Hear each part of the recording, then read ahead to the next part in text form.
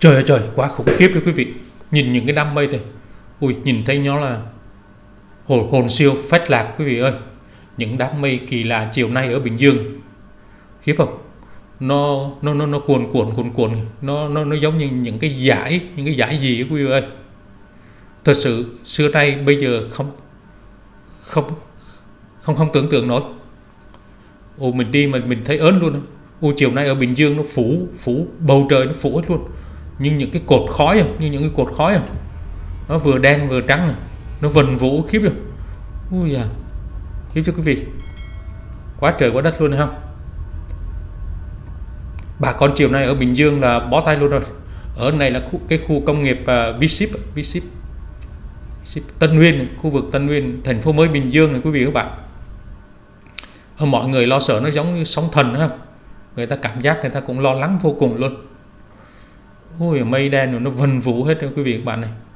Nhìn thấy ớn không? Đây là một cái hiện tượng mà mình phải nói là à, bất ngờ ha. Một cái hiện tượng mà coi như là nó giống như là những cái khối mây mà nó xoắn á, xoắn lại. Cái hiện tượng này là nó tập kết mây khổng lồ. Và mà coi như là đây là một cái hiện tượng mà xưa giờ là dân dân địa phương ở đây là người nói là xưa nay hiếm ạ xưa nay không thấy luôn à, và người dân cũng cảm thấy lo lắng à. Mây đen nó bao trùm hết cả cái bầu trời luôn à. Ủa, nó nó giống như nó muốn sụm xuống luôn à. một cái khối nước khổng lồ trên đó. Khiếp thì chứ.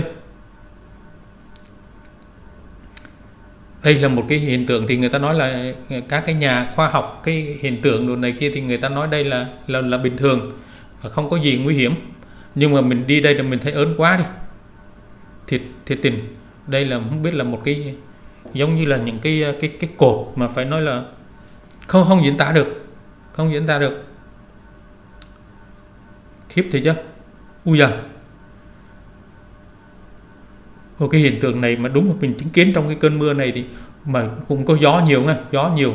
Mây nó vần vũ ở trên bầu trời luôn. Có khả năng là lóc xét rồi này kia đó, không biết là mình có à, chịu nổi cái cơn mưa này không, quý vị và các bạn? Mà đúng là chiều nay là mình đi mình thấy ấy được khiếp quá. Thấy ghê quá quý vị ha. Nó chiều nay là ở trên Bình Dương này, hầu như tất cả các à, các cái cái địa phận các cái tỉnh à, các cái thị xã huyện lỵ trên Bình Dương là đều có mưa rất là to và nó mây như thế này đó quý vị và bạn. Đó bây giờ trời nó đỡ đổ đổ đổ cơn mưa này.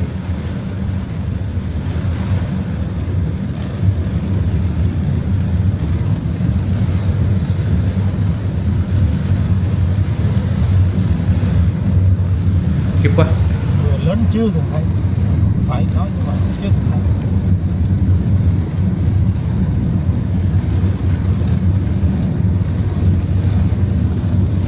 nó kiểu như là nó sóng thần ập tới vị các bạn khiếp thịt ấy.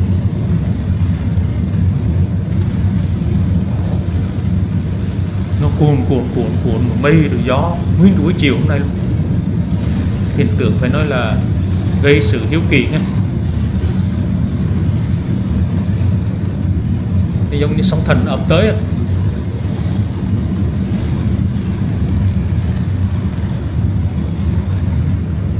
thật sự đây là cái cái mây xoắn, mây khổng lồ này là xưa nay hầu như trong cuộc đời của mình chưa thấy mà hầu như mọi người cũng vậy nghe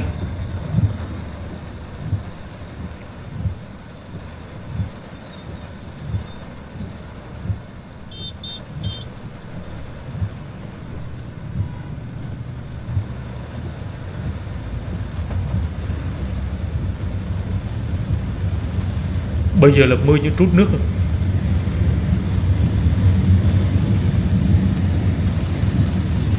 hay là trên các cái trục đường à, thành phố mới Bình Dương, Tân Nguyên.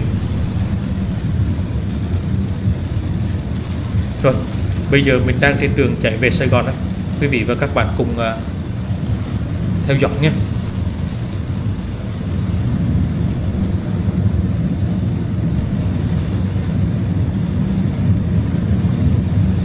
Không thấy đường luôn đi không thấy đường.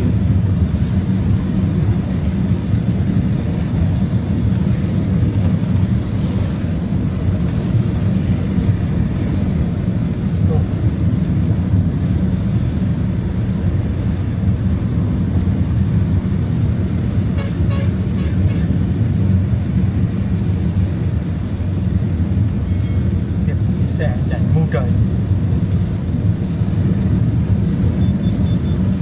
Bình Dương có những cái đại lộ rất lớn và đất còn nhiều cho nên mưa cỡ này mà nó thấm đó, nó thấm.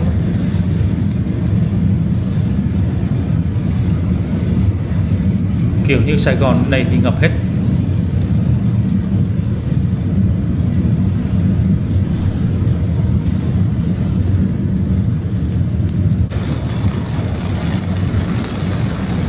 Trời đó luôn chiếc xe bồn nó chạy. Cái đường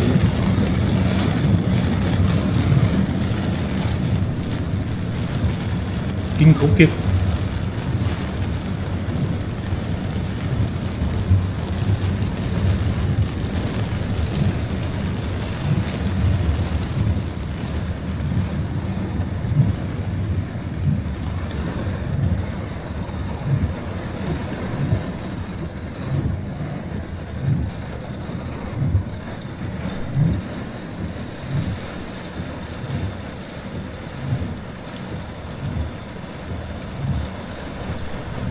Bây giờ là khoảng 5 giờ quý vị và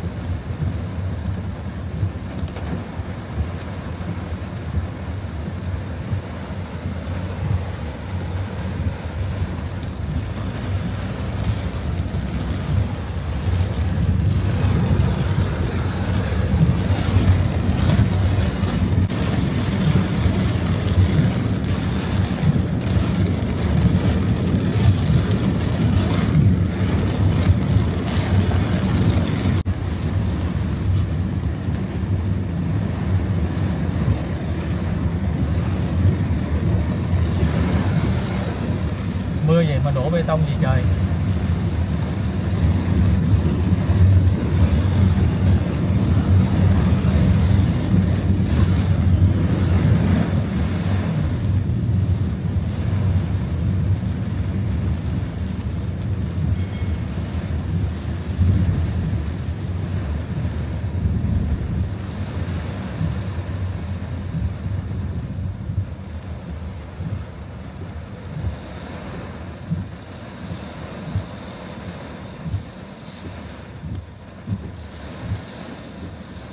Long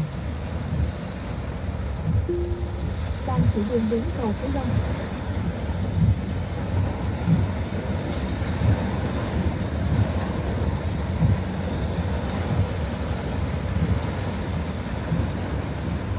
cơn mưa khủng khiếp